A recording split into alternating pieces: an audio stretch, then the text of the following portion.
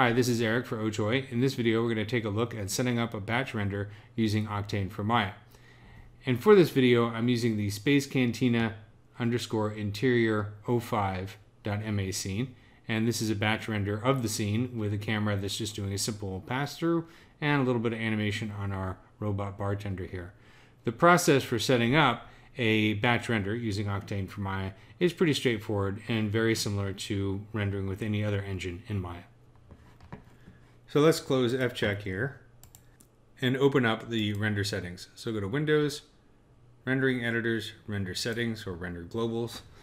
And the first thing we want to do is go to the Common tab, double check that we have everything set up the way that we want. Let's choose our image format, whatever you prefer to do.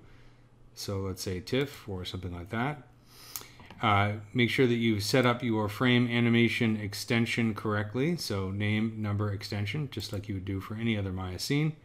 And of course, you want to set up your frame range, your camera, the camera that you want to render the scene with, and of course, the image size.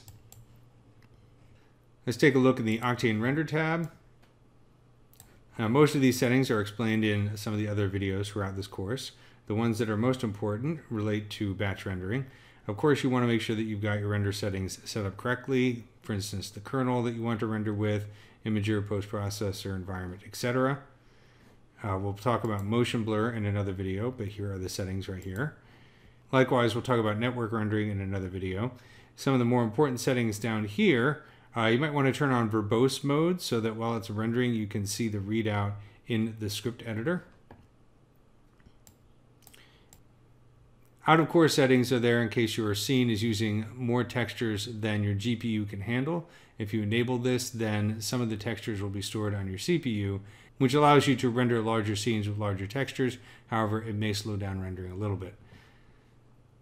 In previous versions of Maya, you had to specify the geometry type for each piece of geometry in the scene.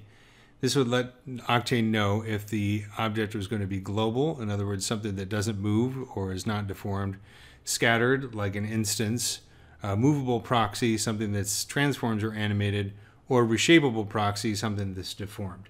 The good news is that you don't need to do that anymore in this most recent version of Octane for Maya. Instead, if you select a piece of geometry and go to its uh, shape node in the attribute editor, you have animator data. So if something is not rendering correctly that is animated, you can specify whether it should be automatically loaded or to force load the animator data. Most of the time you can leave this alone though.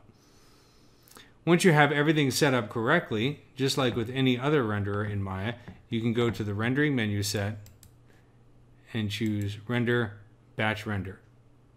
And based on how your project is set up, if you use the default settings, then the images will render directly to the images directory of your Maya project, unless of course you specified otherwise.